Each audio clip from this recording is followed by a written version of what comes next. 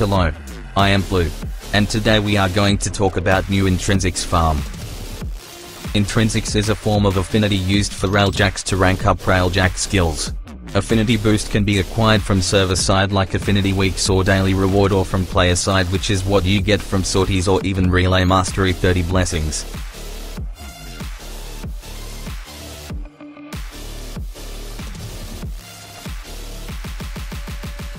They can stack and increase your intrinsics farm efficiency.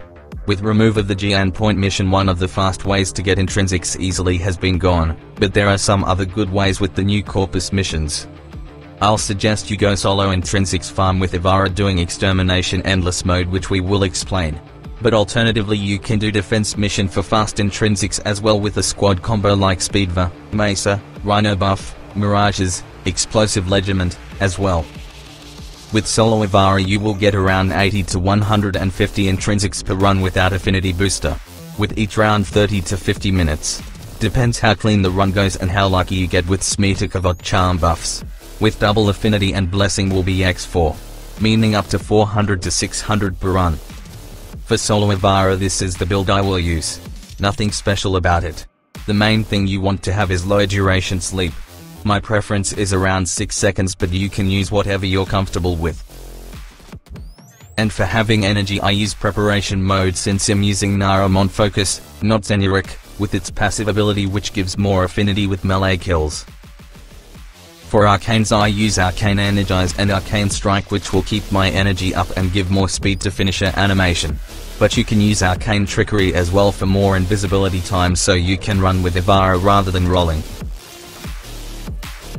You can use untraceable mode for Parazon as well since you have some terminal hacking to do as well. For weapons I tested a lot but found daggers and hammers to be faster and more reliable to use. My preference was dagger since it has fast animation and you can finish humanoids from front or back without losing stealth kill bonus affinity. I'll use Rakta Dark Dagger here since it's the only one I maximize but the best one will be Zaw Critic built daggers which combos will be high with the Naramon focus we are using.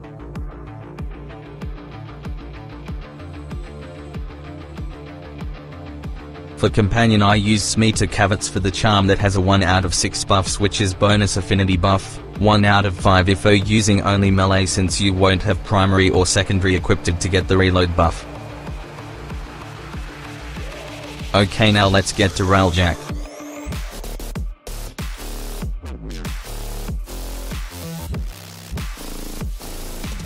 If you're new to Railjack and don't have good ship or crew I suggest parking Railjack far away and fly to targets with Archwing. Or get crew as fast as possible with good repair and endurance rate and have Void Cloak. For others that have good ship and crew, my preference was having a Lich's Defender. One engineer and one gunner. While they're doing side missions a gunner can kill other ships easily with good turret and give you some parts as well. For ship I use these parts and mods.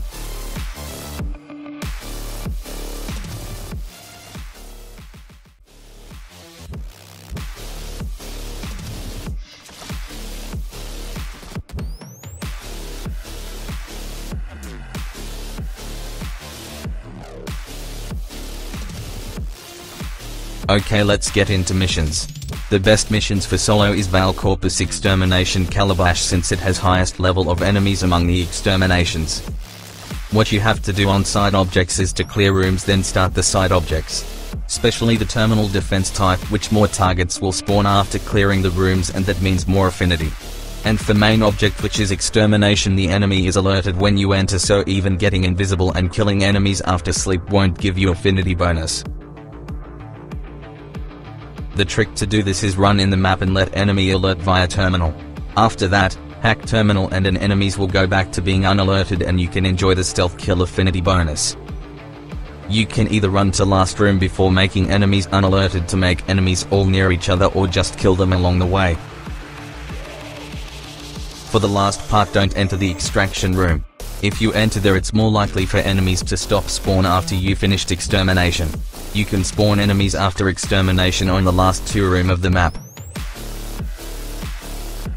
The enemies spawn endlessly but I suggest you extract and start over after 40 to 50 minutes, on the last room mostly there will be 5 to 10 enemies which will spawn endlessly. About the problems, sometimes robots will have an issue and you won't be able to use finisher on them.